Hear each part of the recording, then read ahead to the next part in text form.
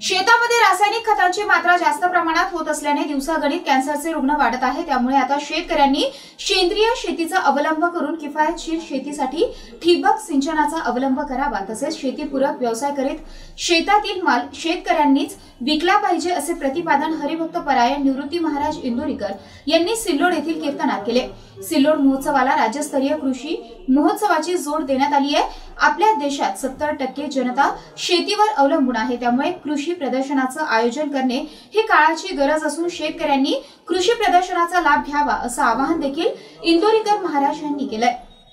सिल्लोड महोत्सव दोन हजार तेवीस अंतर्गत सिल्लोड येथे हरिभक्त परायण निवृत्ती महाराज इंदोरीकर यांचे समाज प्रबोधनपर जाहीर कीर्तन आयोजित करण्यात आले होते. यावेळी प्रबोधन करीत असताना निवृत्ती महाराज हे बोलत होते. या कीर्तन सोहळ्यास राज्याचे महसूल मंत्री राधाकृष्ण विखे पाटील तसेच कृषी मंत्री अब्दुल सत्तार यांची प्रमुख उपस्थिती होती. कीर्तनातील अभंगाचा खुलासा करीत असताना सृष्टीचे सर्व चक्र हे मानवावर अवलंबून आहे. ईश्वराने दिलेल्या मानव जन्माचे सार्थक करण्यासाठी संतांच्या विचारांचे आचरण करा. शेतकऱ्यांनी लग्नावर होणारा नाहक खर्च टाळावा. एक व्यक्ती एक झाड संकल्पना राबवा. गाव पातळीवरील लोकप्रतिनिधी ग्रामीण भागातील शिक्षण आणि आरोग्याच्या दृष्टीने नवनवीन प्रयोग राबवावा.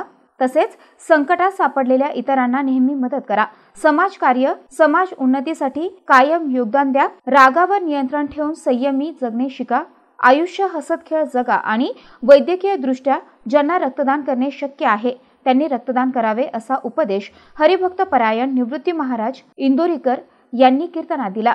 दरम्यान कार्यक्रमाच्या प्रारंभी विखे पाटील आणि अब्दुल सत्तार यांच्या हस्ते हरिभक्त परायण इंदोरीकर महाराज यांचा सन्मान करण्यात आला. तसेच मंत्री विखे पाटील यांनी उपस्थितांशी संवाद साधून सिल्लोड महोत्सवाच्या शुभेच्छा देखील दिल्या. सिल्लोड महोत्सव समितीचे स्वागत अध्यक्ष तथा उपनगर अध्यक्ष अब्दुल समीर यांनी शेवटी उपस्थितांचे आभार मानले. निवृत्ती महाराज यांना ऐकण्यासाठी महिला आणि पुरुषांची मोठ्या संख्येनं उपस्थिती होती.